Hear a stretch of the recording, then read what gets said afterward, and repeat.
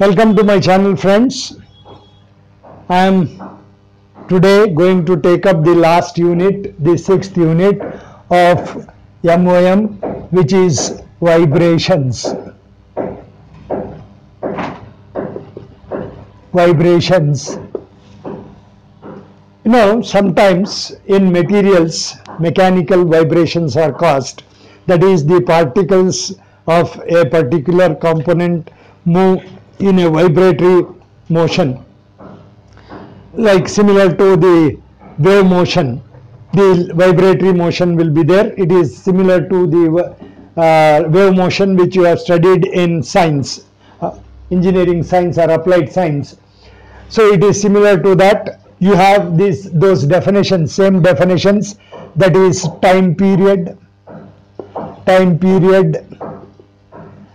You know, it is the time taken by a vibrating particle to complete one part, one cycle. One cycle. You know, cycle means you know, this is called one cycle. One cycle. The time taken to complete one cycle is known as the time period.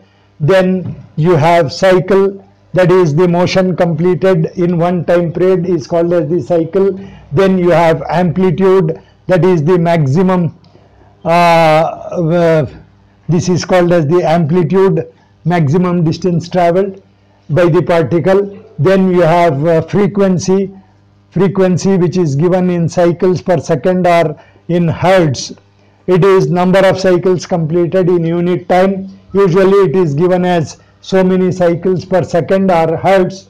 So these definitions exactly similar to what you have studied in science that will be there. Now here the vibrations are classified into three types. They are they are the classification of vibrations is natural vibrations natural vibrations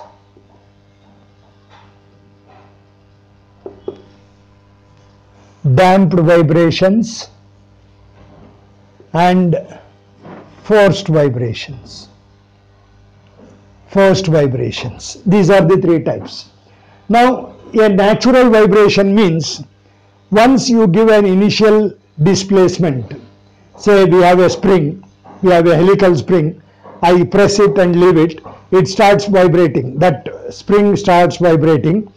If after giving the initial displacement, if no external force acts on that vibrating body or vibrating particle, then the vibration are said to be natural vibrations.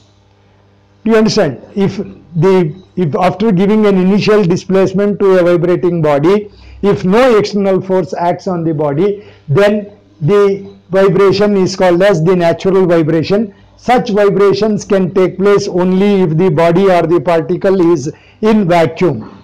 Now, otherwise it will be damped vibration. Even it is uh, the vibration is taking place in a in the atmosphere, it will be damped vibration. Why? See, in every vibration, in every vibration, it is vibrating in atmosphere. So the atmosphere is giving it resistance. See what happens if I take a helical spring, press it and leave it, it goes on vibrating for a for some time and then gradually what happens is its amplitude of vibration goes on reducing continuously. And finally the vibration dies out. That is that such a type of vibration is called as the damped vibration. Here what is happening is the energy kinetic energy is lost due to friction between the atmosphere and the vibrating body. It is lost and the amplitude goes on reducing see in a shock absorber for example shock absorber you have the spring helical spring kept in a fluid. Why? The fluid will offer more resistance and the vibrations die out faster there. So that is called as the damped vibration.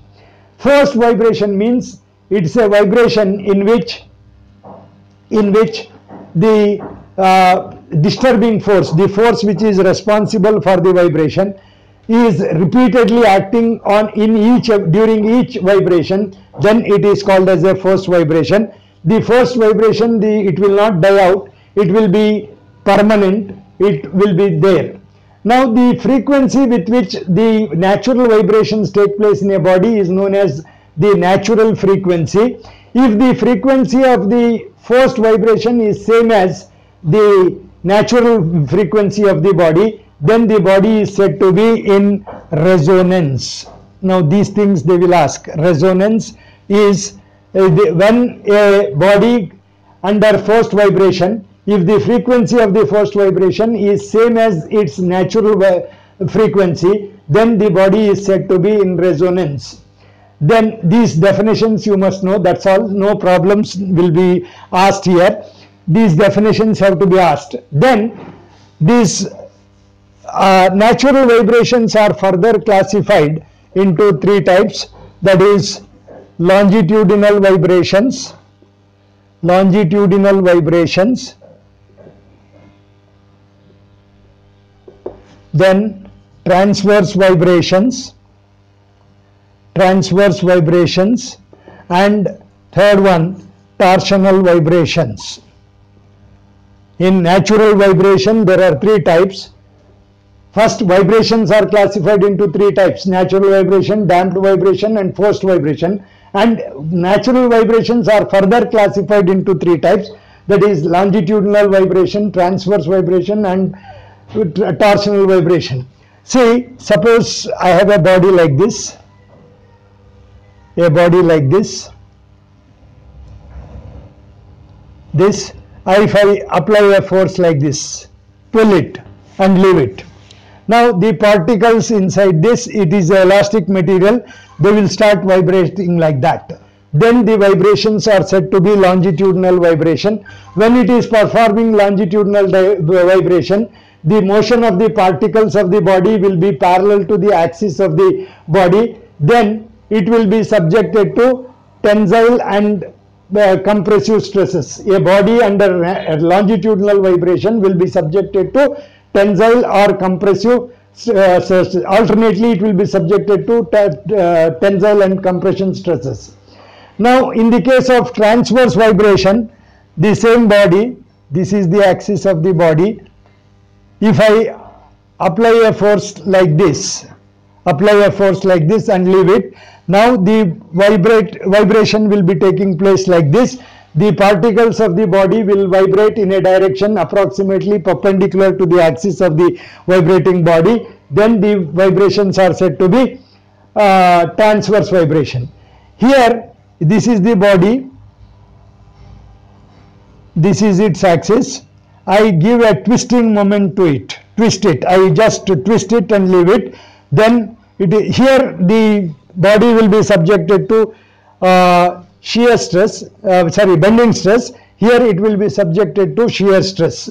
I twist this body and leave it. Now this vibration will be the uh, particles will be vibrating in a circular uh, direction about the axis of the body. So such vibrations are called as the torsional vibrations. So these are the three types of natural vibrations. So this theory, only theory will be asked in this, no numericals will be asked.